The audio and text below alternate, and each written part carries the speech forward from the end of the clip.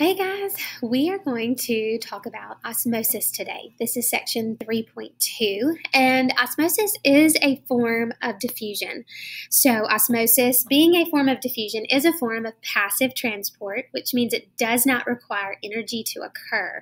But when we look at osmosis, what's important to note, where diffusion was dealing with molecules or particles that were diffusing across the cell membrane from an area of high concentration to an area of low concentration down the concentration gradient. Osmosis has a very similar definition, but it's dealing with water. So, osmosis is the net movement of water molecules from a region of high water potential to a region of low water potential through a partially permeable membrane.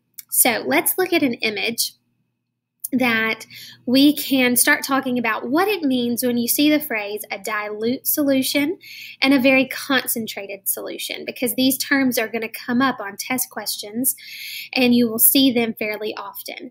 Now, when we talk about in terms of water potential, a dilute solution is going to have a high water potential. There's more water in it. It's more diluted. You've all had a drink before that was supposed to be extra sweet and yummy, and maybe someone added too much water to it when they were making it, maybe a Kool Aid or something, and it was diluted. Okay? So a dilute solution means high water potential. A lot more water than, let's say, the sugar molecules, we'll call the little red dot sugar molecules that are inside of it.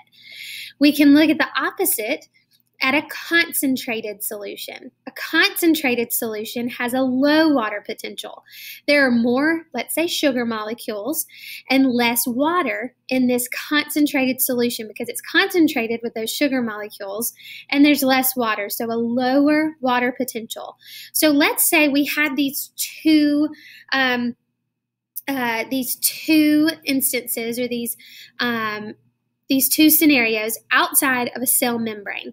So if we have our semi-permeable cell membrane, and let's say on the outside of one side of the cell membrane, there was a high water potential. This is a dilute environment. But on the other side of the cell membrane, it was a very low water potential or a very concentrated water environment.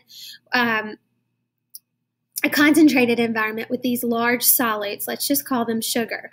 Okay, so the way that water will move, it moves just like diffusion from higher to lower. So we're going to move from a higher water potential to a lower water potential. Because ultimately, remember, equilibrium is the goal. So water will move from where there's there are less solutes to where there are more solutes because these cannot jump across that cell membrane. So you can see water will be forced to this right hand side um, to ultimately try to dilute that solution more to find that equilibrium. Okay, so make sure with diffusion we follow the molecules, the particles, the, the other circles that we're dealing with outside or inside of the cell. For osmosis, we follow the water. Make sure our water is moving from high, a high water potential to a low water potential. Okay? Now, when we see this, uh, see each other next time, we are going to talk about osmosis in plant and animal cells, as well as diffusion and how it's occurring all throughout our body and all throughout plants. So make sure you get these notes on osmosis and uh, be ready for our Check for Understanding quiz when we see each other again. All right, you'll have a great day.